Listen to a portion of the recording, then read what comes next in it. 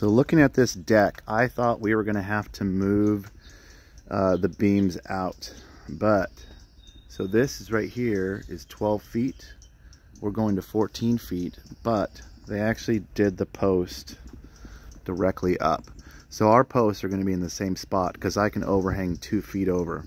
So exactly where these posts are is where the new posts are going to go. So we're not actually moving them out into this hmm. flower bed.